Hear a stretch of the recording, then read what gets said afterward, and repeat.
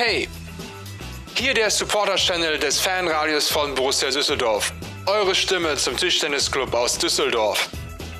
Kurze Ausschnitte, O-Töne oder euren Input für das Fanradio. Kurz und auf den Punkt. Das ist der Supporter-Channel.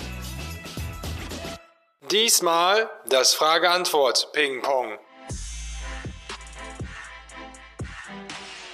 What was the best win of your history, of your career, and maybe why? Um, single best victory was uh, against Janan in uh, the Swedish Open a couple of years ago. I think it's uh, so the the best player that I've beaten. So and it was very special also that I think normally it was a chance that I uh, on the paper that I had no chance in the match on the forehand, and then I could play at home in Sweden before the crowd there, and the atmosphere was amazing. And uh, I think this is like the best table tennis experience that I've had so far.